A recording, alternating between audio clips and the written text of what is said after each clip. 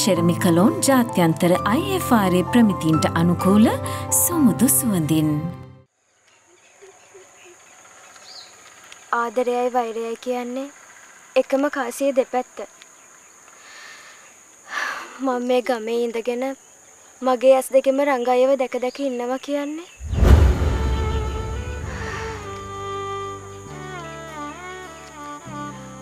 මට ඔව තේරෙනවා ගයිනි. ඔයාලා වගේ දෙන්නෙක් තුන් දෙනෙක් කැරෙනකොට රංගයගේ මගේ මේ ප්‍රශ්නේ ගමේ කවුරුත් දන්නේ නැහැ. හෙලි වෙනවා රෑ වෙනවා. දවස් ගෙවෙනවා. අපි තීරණය කරගත්ත දවසට අපි දවසින් දවස ලං වෙනවා.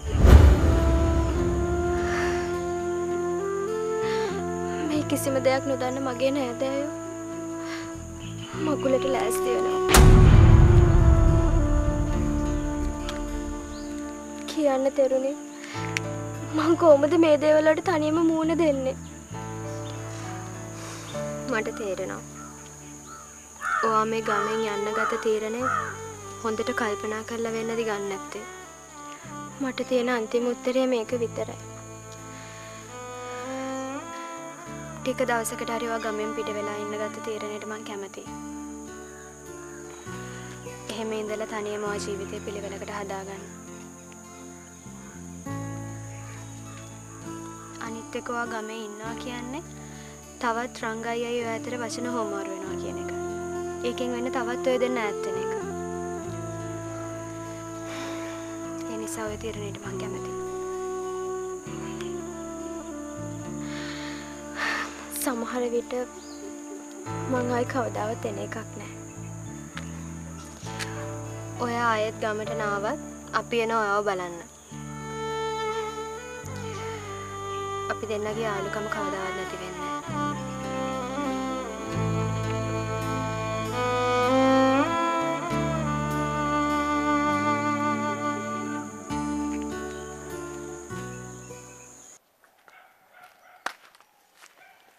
මේ නන්දිපාලව දැන් ඔය ගෑනි උඹට දවසක් කිව්වේ නැද්ද? ලොකු හාමුදුරන්ගේ සිවුරක් හරි අඳනයක් හරි ගේන්න ඒ ගෑනි දිනවකවානු කියන්නේ ගේන්නමයි කියලා කියන්නේ ගේන්නමයි කියලා කියන්නේ.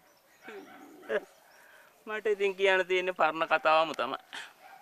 මොකද පරණ කතාව? කොට්ටෝරුවා ගහෙන් ගහට කොටකට ගිහිල්ලා අන්තිමට කෙහෙල් ගහට කෙටුව දාට හොට පැටලෙනවා. රජෝ කන මත්තබං මම පිස්සු ඇදලා ඉන්න වෙලාවේ මර දොඩවනවා. කිව්වේ නම් කොහමද? උඹ විතර හොරෙක් මේ ලෝකේ නෑ කියලා. ඔය කලේ හොරකම? අනේ මේ රජියෝ උඹ නම් මගේ පරණ වෛරක්කාරයෙක් පරණ වෛරක්කාරයෙක්. මෙච්චර දේවල් වෙලා තියෙද්දි තොහමද කතා කරන්නේ? මේ මුල දෙන්න කීවිල නවත්ත ගනිල්ලකෝ රෙජියෝ මොනහරි කල්පනා කරපම් මුව මේ මරගුලින් බේරගන්න. උඹලට කියන්නේ මේ නන්දිපාලගේ අවසාන පෑ කීපේ මේ ගත කරන්නේ. මේ පාරේ ගෑනි මට මොනවයි මොනවා කරයිද දන්නේ නැහැ බං.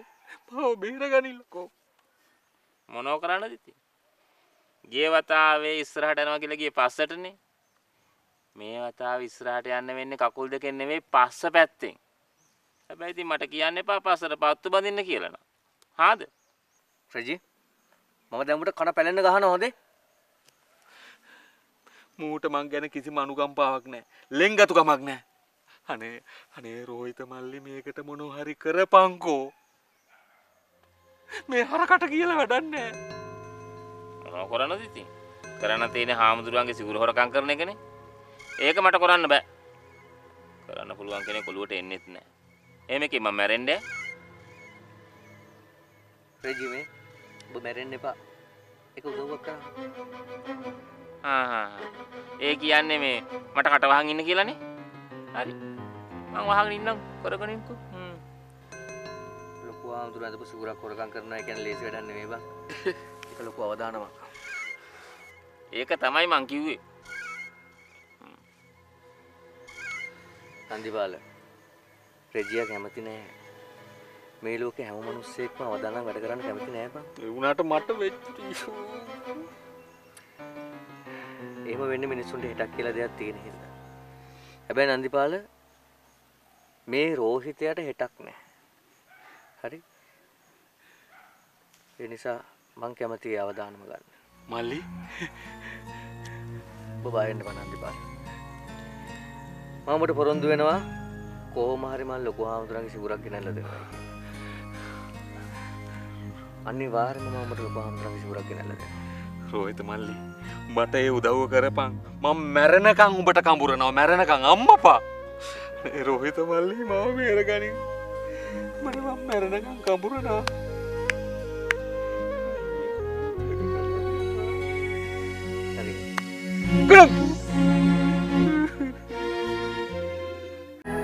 නවලක්ස් සුවඳවත් සුසිනිදු සමකට මගේ විශ්වාසය ලක්ස්. ලංවෙලා රාහුල මගේ පැවිදි ජීවිතයට අවුරුදු හැත්තෑවක් වෙනවා. මේ ජීවිත කාලෙටම මට මේ වගේ ගෑනු මනුස්සයෙක් වුණ ගැහිල්ල නෑ. හරියට කොටියගෙන් බේරෙන්ට කොටියගේ ගේ ඇතුළම හැංගිලි හිටියගේ වැඩක් හාමුදුරන මේක හැංගිලා හිටියම කියල කියන්නත් බෑනේ. මේ මනුස්්‍යය අධිසානායක මහත්‍යලයි ගෙදර එල්ලි මහන වැඩකර කර හිටිය මිනිස්සු එක්කත් කතාබා කර කර ඉඳල තියෙනවානේ. මේ කාලය ඇතුළත රෝහිත මේ ගෙදරට කීප වතාවකම ඇවිල්ලා ගිහිල්ලා තියෙනවා. ඒත් ඒක අවස්ථාවකවත් රෝහිතට ඇහැ නොගැටෙන්න සුමිත්‍ර කොයිතරම් සූක්ෂම වෙලා තියෙනවද හාමුදුරුවනේ. බුද්ධිමත් ගෑනියෙක් බොහොම සූක්ෂමයි රාහුල. කිසිම කෙනෙකුට දරාගන්න බැරි වේදනාවක් තනියම දරාගන්නව වගේම. ගැහැනියෙකුට පුළුවන් කිසිම කෙනෙක් නොහිතන මානකින් ඒ ගැන කල්පනා කරන්න. ගැහැනියකට ඒ තරම් බුද්ධිමත්ව වැඩ කරන්න පුළුවන් මොලයක් පිහිටලා තියෙනවයි කියලා. නූතන විද්‍යාවෙන් පවා සනාත කරලා තියෙනවා. මෙතෙක් කලක් මම කියවපු කිසිම පොතක මම මේ වගේ ගැහැනියක් ගැන කියවල නෑරාහුල. මහා විශ්ම කර්ම ගෑනියක්. ඔබ වහන්සේගේ මනසට කිසිම සැහැල්ලුවක් නෑ නේද හාමුදුරුවනි. එකින් එක ගැටලු. මට හිතෙන්නේ මහා බරක් හිසේ තියාගෙන ඉන්නවා වගේ. ඒක බරක් කියල රාහුලට හිතුනේයි. ඔබ වහන්සේ දිසානායක මහත්තයට පොරොන්දුනානේ අර ගෙදරින් දරුවව කොහොමාරී අරගෙන දෙනවයි කියලා. ඒ කොහොමද කවද්ද කියලා මට නම් හිතා ගන්නවත් බෑ. ඒක ඔබ වහන්සේගේ හිතට ලොකු බරක් නේද හාමුදුරුවනේ? ඒක ඒ විදියට හිතුවොත් තමයි බරක් වෙන්නේ. නමුත් එය මගේ මනසට බාධාවක් බරක් කර නොගෙන ඉන්න මට පුළුවන්.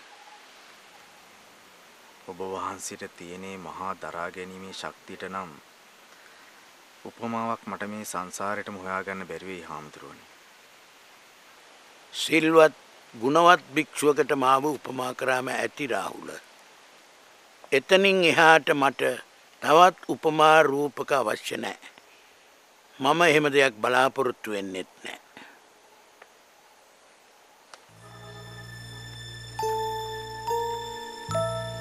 මට නම් තාමත් අදහගන්න බෑ හාමුදුරුවනි.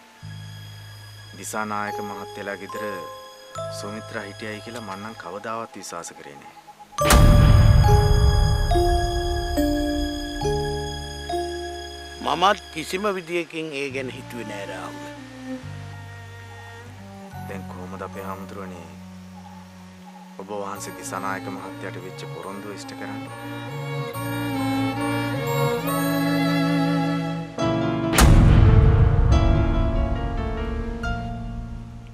කලබල වෙන්නේ පාරාවුල හැම ප්‍රශ්නකටම උත්තරයක් තියෙනවා. උත්තරයක් නැති ප්‍රශ්න මේ ලෝක නිර්මාණය වෙන්නේ නෑ.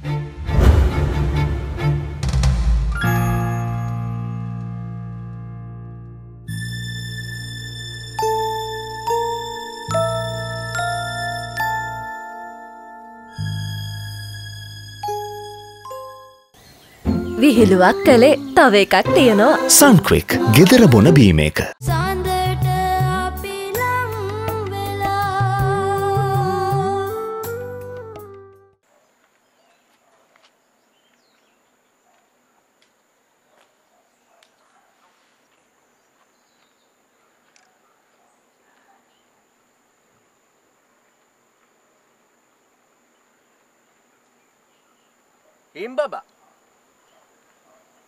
බම් මේ තරහකාරයෙක් දැක්කා වගේ අහක බලන් ආපහු යන්නේ පෑහෙන්නේ නැති මිනිස්සුත් එක්ක ගණදරු කිරීම සම්පූර්ණ නතර කොල්ලා තියෙන්නේ.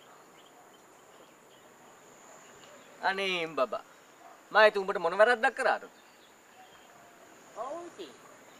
බලා වගේ උන්ගේ කොයි වෙලාවෙ මොකාට වැරද්දක් වෙයිද කියලා කියන්න බෑ නෝ. හිම් බබා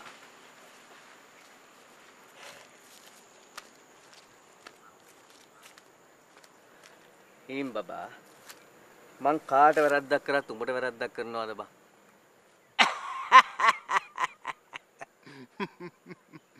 ඇයි මහත්තයෝ මං උඹේ බාප්පද? අනේ මේ නිකන් හිටපන්. උඹ උඹේ බාප්පගෙන් උනා ප්‍රෝජනයක් තියෙනවා නම් බාප්පා උකස් කියන්නත් උඹ දෙපාරක් හිතන්න මන්නෝ දන්නවා උඹේ හැටි. ඕම් බලපන් හිම් බබා මම මේ මිනිස්සුන්ට කරපු වැරද්දකුත් නෑ. කරන වැරද්දකුත් නෑ. මේ පොඩි පොඩි දේවල් අල්ලගෙන මිනිස්සු මන් දිහා බලන්නේ වපරහැන්නේ ඔව්. හොරේ කපටියෙක් වංචාකාරේ හරිනො කිසිම වැඩකට නැති අපතේ. එහෙමනේ කියන්නේ? මං එච්චර දෙයක් කියන්න නම් හිතුවේ නෑ. හැබැයි ඉතින් තමුන් ගැන තමුන්ම කියනවා නම් මට කරන්න දෙයක්කුත් නෑ. හිම් බබා මං ආශ්‍රය කරන මිනිස්සුන්ට මං වැරද්දක් කරත් නොකරත් ඒගොල්ලන්ට මාව රුස්සන්නේ නෑනේ මේව මගේ පූර්වේ කර්ම බා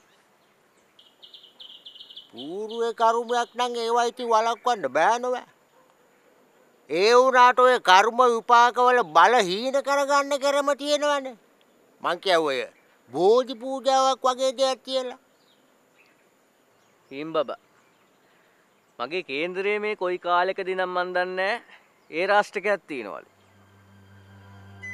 අවුරුදු දෙකයි මාස 8ක්ද කොහෙද තියෙනවලු ඒ රාෂ්ට්‍රකේ පුදුම අපල කාලයක් බබා අපලයි කියලා දන්නවනම් කවුරු හරි දන්න කෙනෙකුට කියලා ඒකට ප්‍රතිකර්මයක් කරගනි. අයනවා යන්න. ප්‍රතිකර්ම නම් මන් දන්නවා හිම් බබා ඒක කරගන්නේ කොහොමද කියලා කල්පනා කරනකොට තමයි දෙයියෝ එව්වා වගේ උඹව මෙතනට එව් ඔව් හිම් බබා. මේ වැඩේට හරියනම මිනිහා තමයි උඹ. අනේ උඹට පින් සිද්ධ වෙනවා මට මේක කරලා දීපන් හිම් බබා. මං ආවල් දෙයක් කරන්නද? ඔබ දන්නේ නැහැ හිම් බබා. මේ ඒරාස්ටක අපලේ දුරු වෙන්න මට කරන්න තියෙන දේ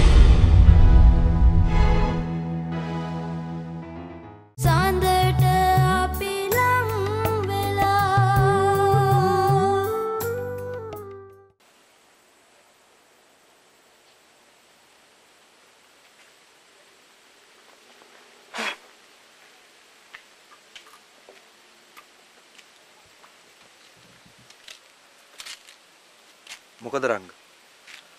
ගුණපාලයි බයිසිකල් හැරියට හදලා නැද්ද?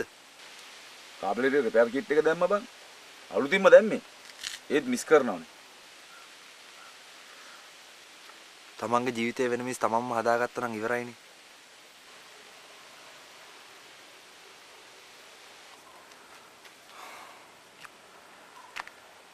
මගේ ජීවිතේ මිස් වෙන තැන හදලා දෙන්න කියලා මම ගුණපාලයට කිව්වේ නෑ. මං කිව්වේ මේ යකඩ ගොඩ මිස් කරනවා ඒක හදලා දෙන්න කියලා විතරයි නෑ මම මේ කිව්වේ බිලුම් ඔබ මොකාට දෙන්න හදන්නේ කියලා මම දන්නවා නොකරන දේවල් ගැන තවත් කතා කරන්න එපා කෙරෙන දෙයක් ගැන කතා කරන්න කෙනෙක් හම්බුණා නම් ඒ කවුද කියලා අපිට කියපන්. එතකොට අපිට ඒ ගැන කතා කරන්න පුළුවන්. මට කෙනෙක්ව හම්බුන්නේ නැහැ. මට කෙනෙක් හොයලා දුන්නෙත් ගයිනි. මම හොඳ පාඩමක් උගන්වන්නම්. ගයිනි දන්නේ නැහැ මං කවුද කියලා.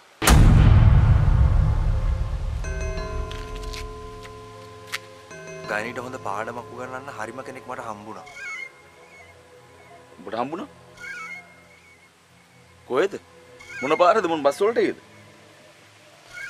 ඉස්සර නම් මට ඕන තරම් පාරදී බස් වෝල්ට් එකදීම හම්බෙලා තියෙනවා. ඒකට මේ පාර මං හම්බුනේ ගෙදරටම ගිහින්.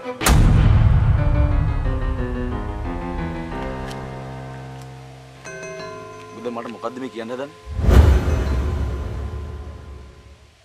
මං කියව්වේ ඔය බෝධි පූජා බලු කපුටු දාන ආ ඒ වගේ දේවල්. එව්ව ඔක්කොම කරලා තියෙන්නේ. හැබැයි තව එක දෙයක් මට නියම කරලා තියෙනවා හිම් බබා. ඈ? ඒ මොකද්ද? හිම් බබා. බොහෝ සීලවන්ත හාමුදුරු නමක්ගේ සිවුරු හොදලා මට ඒ පෙර අකුසල් කර්මේ දුරු කරගන්නටයි කිව්වා. ඉතින් මම මේ 17 කල්පනා කරේ මේ ගන් තුලාන ඉන්නවනම් එහෙම සීලවන්ත හාමුදුරු නමකට මේ මේ අපේ පන්සලේ ලොකු හාමුදුරු විතරයිනේ ඉන්නේ. බොරුද මං කියන්නේ? අපේ ලොකු හාමුදුරුවෝ තරම් සිල්වත් හාමුදුරුවෝ කෙනෙක් මේ අහල ගම් හතකටවත් නෑ බොල. හිම් බබා උඹ දැම් මේ කරන පිම්බලෙන් ඊගාවාත්මය උඹ මනුසාත්මයක් නෙවෙයි ඒ කාන්තෙන්ම දිව්‍යාත්මයක්ම තමයි ලබන්න ඒක ශුව උඹ මේ වෙනකොට කරගෙන තියෙන පින් හොඳටම ඇති හිම් බබා අනේ අපි වගේ පෞකාරයන්ටත් පිනත් දහමක් කරගන්න දීපා ඒකත් උඹට පිනක් මේ මොකක්ද උඹ දැන් කියන්නේ? මට ඩිංගිත්ත තේරෙන භාෂාවෙන් කියපන්කෝ. ඒ වගේ සීලවන්ත ඥානරත්න හාමුදුරුවන්ගේ සිවුරු පාක් උඩන් හොදන්නේ උඹනේ. අනේ ටික දවසකට මට ඒ රාජකාරිය කරන්න දීපන් හීම් බබා. උඹට පින් සිද්ධ වෙනවා. ඕනනම් මං උඹට ගානකුත් ගෙවන්න.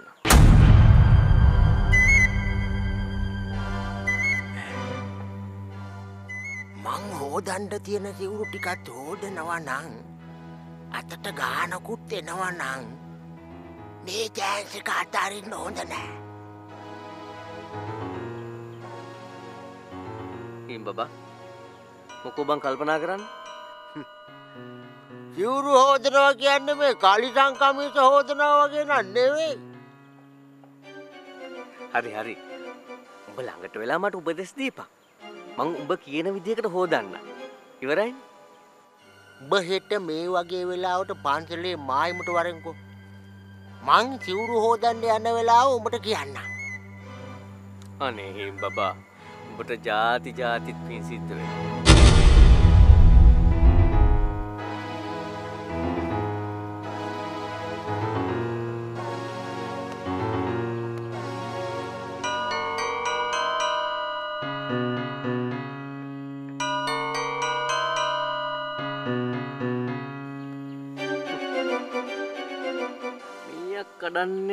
කන්න නෙවෙයි කියනවා වගේ. සිවුරක් හෝදන්නෙත් ඉතින් පව් හෝද ගන්නම විතරක් නෙවෙයි. SLT non-stop broadband. ඉන්න ඉන්න වැඩිවන්න ෆ්‍රී ලෝයල්ටි ඩේටා